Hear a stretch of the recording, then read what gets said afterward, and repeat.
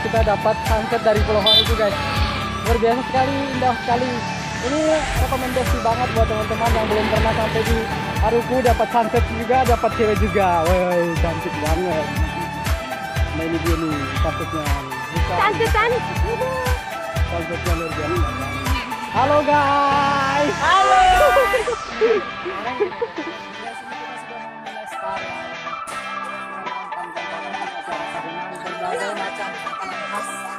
yang disajikan di sini